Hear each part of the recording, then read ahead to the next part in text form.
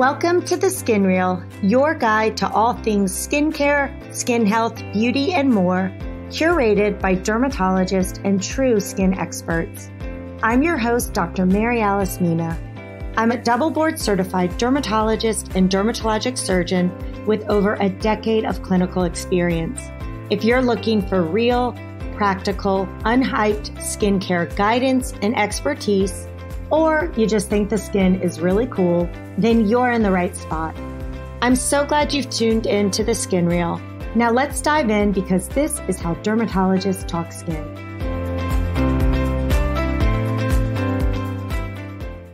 Hi, everyone. Quick disclaimer here before we start. This podcast is for educational purposes only and is not a substitute for professional care by a doctor or other qualified medical professional. If you're looking for help on your skin journey, please check out the American Academy of Dermatology's website, aad.org, where you can search their database for dermatologists near you. It is so important that you have someone in your corner who's well trained, licensed, and board certified who can help you make decisions when it comes to your skin health. Okay, got it? Great. Now for the fun stuff. Hi, everyone. Thanks so much for joining me on this week's episode of The Skin Real. This week, I am going to be discussing our skin barrier, what it is, why it's important, and what we can do to protect it. My guest today is Dr. Jack Arbiser, who is bringing with him decades of experience, not only as a clinical dermatologist, but also a physician scientist studying our skin barrier and how it works and helping to develop novel therapies to take care of our skin. Dr. Arbiser has a bachelor's and master's in organic chemistry from Emory. He then received his medical degree and PhD from Harvard Medical School, followed by residency at Harvard as well, and then a fellowship in the laboratory of Dr. Judah Folkman studying angiogenesis. In 1998, he returned to Atlanta, Georgia, where he became a faculty member in the Department of Dermatology and rose up the ranks to the esteemed position as the Thomas Lawley Endowed Professor of Dermatology. As if that weren't enough, he has also created a company called Acutis, which helps bring novel therapies to the clinic. In 2022, he joined my colleagues at Metro Dermatology, where he is now seeing patients and continuing his really exciting research work. I'm super thrilled to have him on today.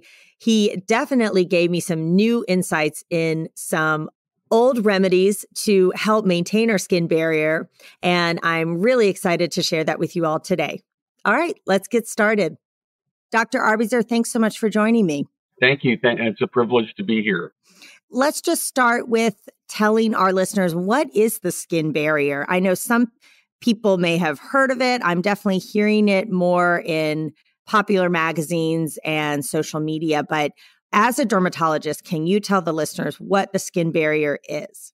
As we know, the skin is the largest organ of the body, and basically it exists to keep noxious things out. So it keeps bacteria out, bad chemicals, and it helps fight bacteria.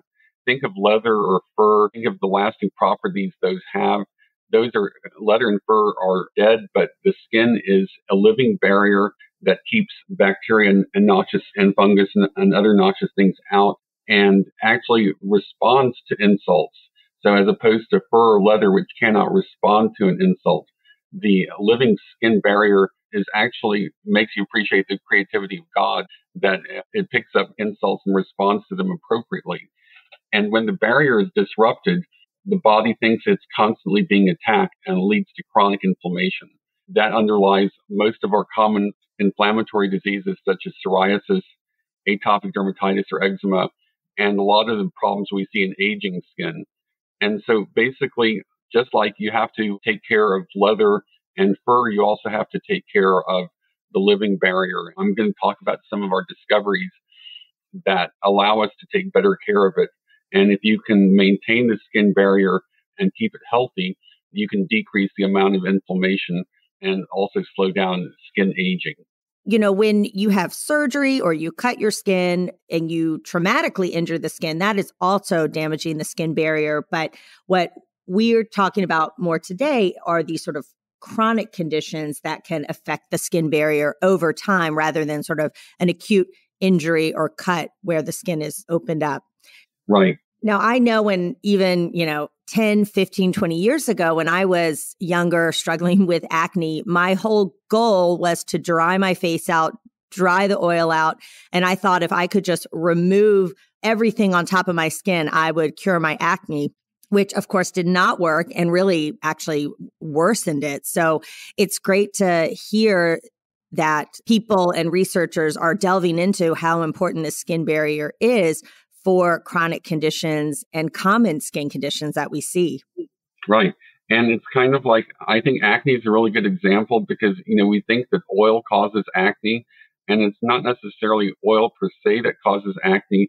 It's kind of a response to bacteria and, and hair follicles that underlie acne. And as, as you've shown from your own experience, that drying out the skin doesn't necessarily help in terms of treatment. That theory it, it's so pervasive. I i still come across it so often. Even people who work in my office some of the things they put on their skin to dry it out or, or remove that oil.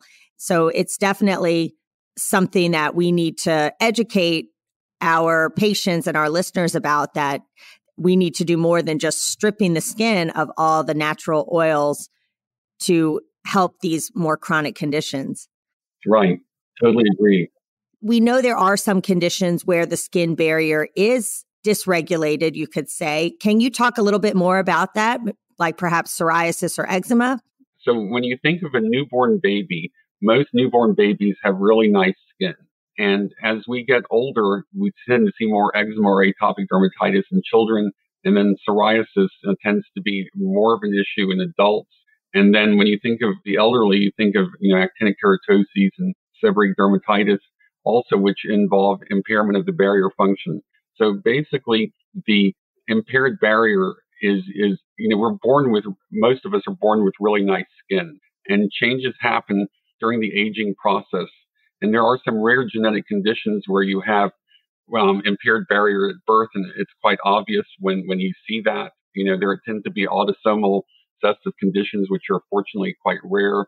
But as we get older, you know we see these changes and since we're not born with eczema or psoriasis, that leaves the hope that if we can understand what caused the change to, to cause these disorders, maybe we can reverse them. And so the fact that, that we're born with, with nice skin in general means that there's the hope of, of being able to reverse it.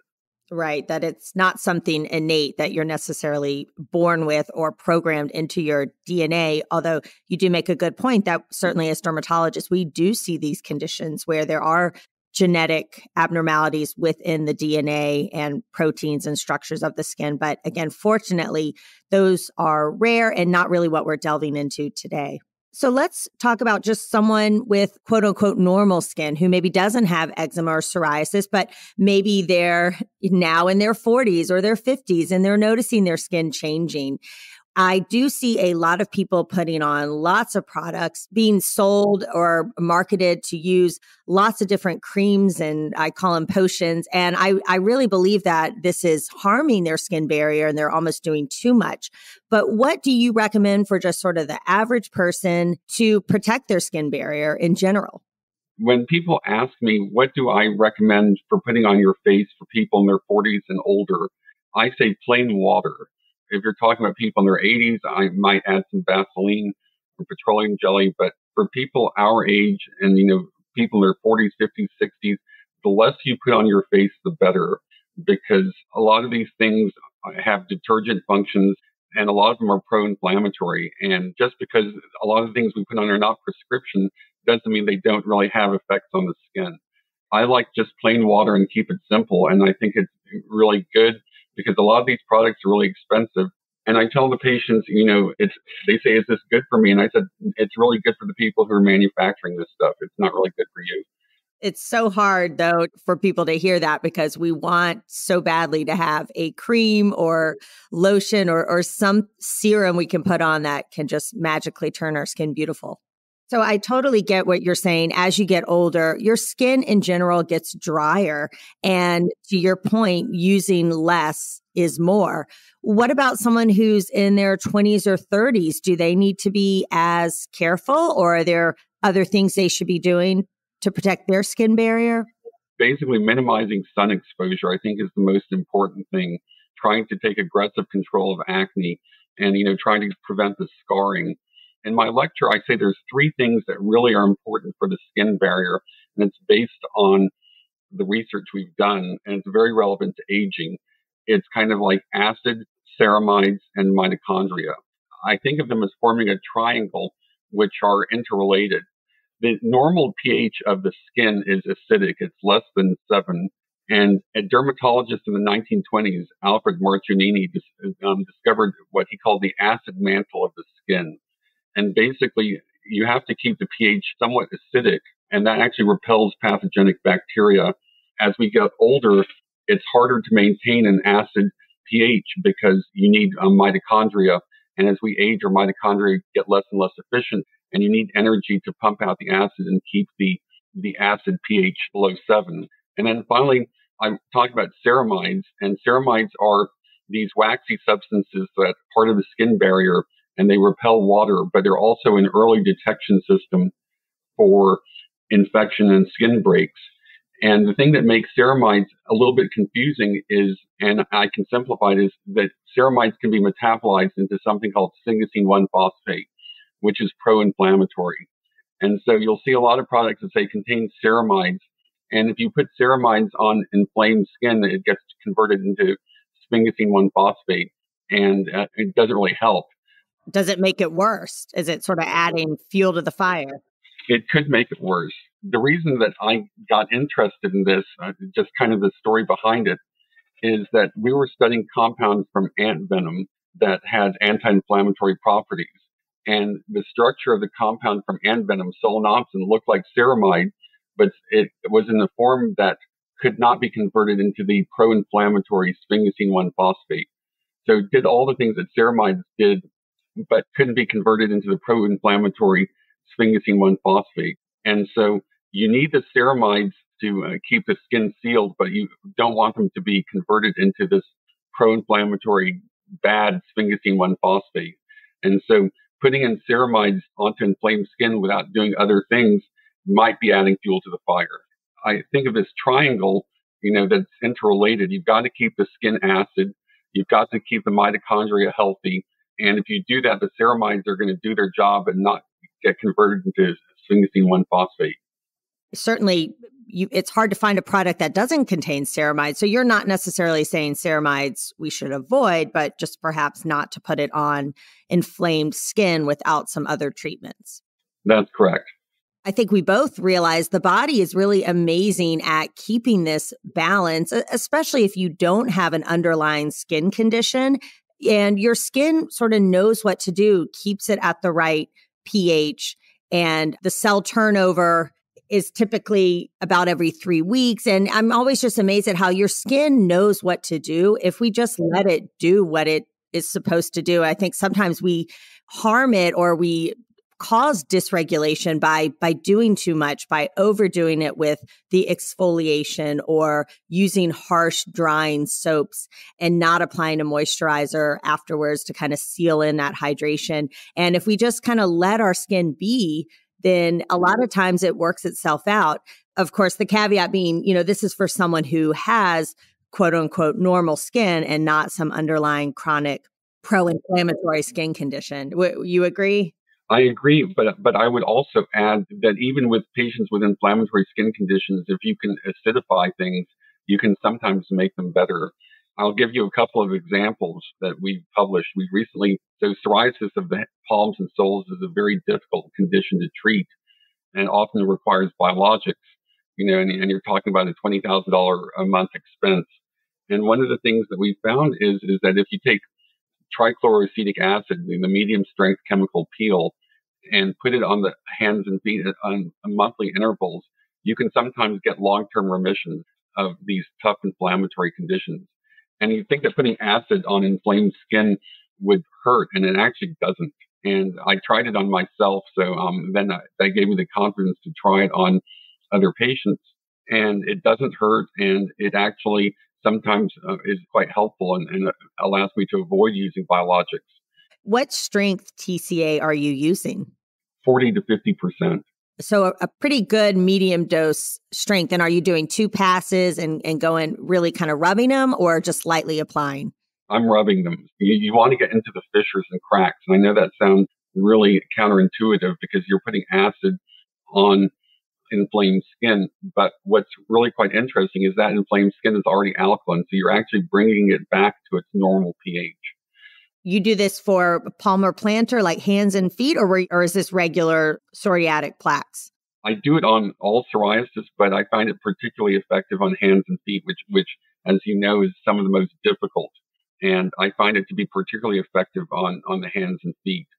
And the other other kind of clinical pearl that I'd like to share is that for inflammatory diseases like seborrheic dermatitis, I use cider vinegar, you know, which is also acidic. And I like the cider part because the cider has natural anti-inflammatory properties. How do you recommend patients use that? I tell them to use it on undiluted cider vinegar on a Q-tip or a cotton ball, you know, and rub the inflamed areas. You can put it into the scalp. You can put it around the ears, behind the ears, in the T zone. It's a cheap way of acidifying the skin that you can do at home.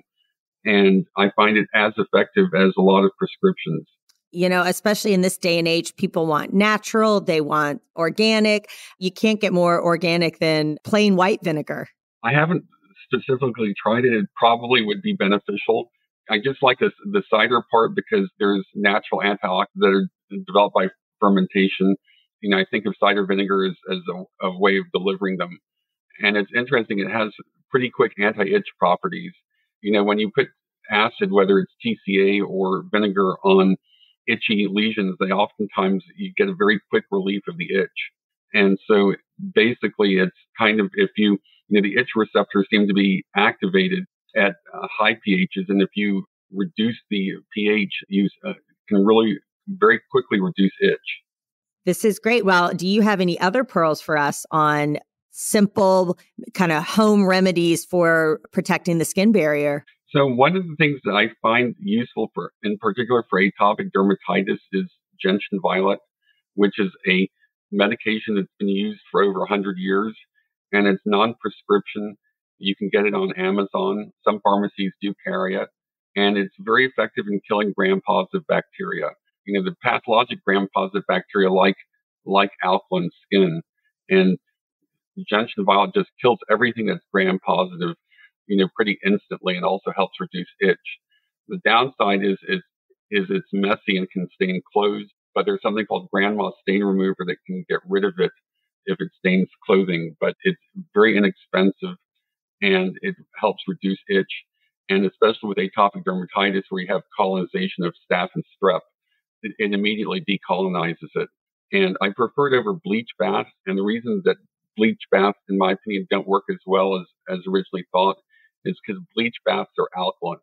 I mean, to make bleach, you, you mix chlorine with lye, which is very alkaline, um, and that gives you sodium hypochlorite.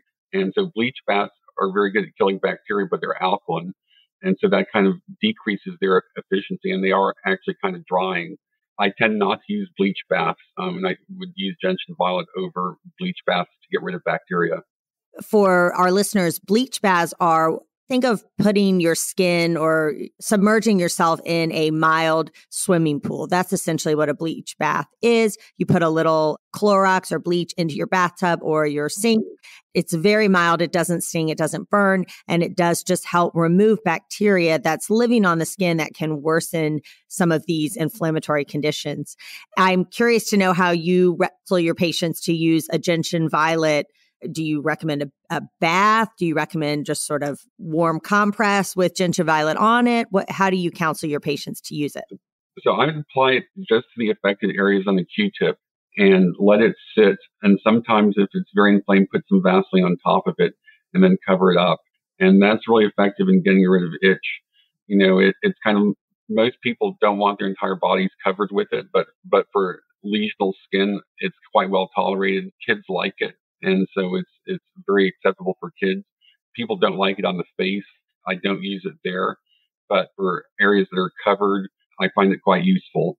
It's great to see that we can actually use these very simple low cost products to help our skin. And it, it, kind of goes against the thought that every condition needs these expensive tens of thousands of dollar special formulations. Right. You spend a lot of your time, and, and so do I, and, and office staff on getting pre authorizations for very expensive medications that don't necessarily cure the disease. One of the problems I have with biologics is they're very effective for a lot of conditions, but we don't know when to stop them. And so you, let's say you have 100 patients who are getting a biologic for psoriasis.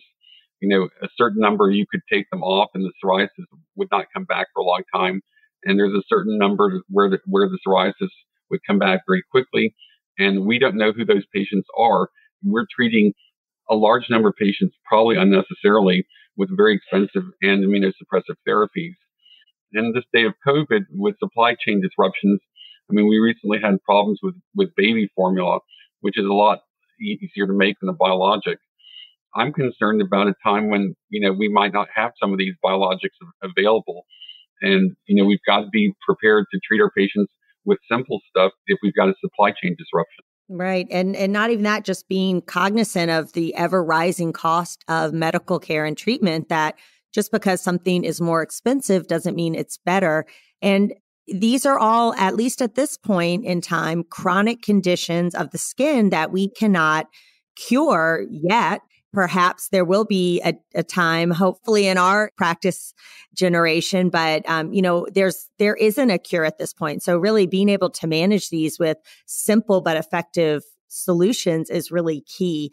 Another thing that I love to do when I would treat psoriasis and eczema is really just hydration using a thick petrolatum based product and sealing in moisture. I, I still vividly remember seeing a, a picture in residency of someone who had very severe psoriasis and the only treatment they used was Vaseline and it really improved their psoriatic plaques. And that was a great teaching point for me to, to realize, hey, sometimes simple things like hydration, locking in the moisture can be just as effective as a steroid or biologic.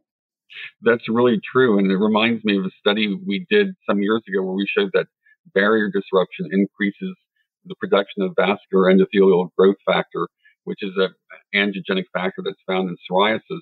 And basically, the reason that psoriasis is red is because you have dilated and leaky blood vessels. And just by restoring the barrier with hydration, you can decrease the production of the vascular endothelial growth factor and, and have a dramatic impact on patients' inflammatory skin disease. Very cool. Well, I am so excited that there are smart dermatologists and physician scientists like you out there doing this important work and, and delving into the research behind all this. And I really appreciate you coming on and, and sharing these simple but highly effective strategies for protecting our skin barrier.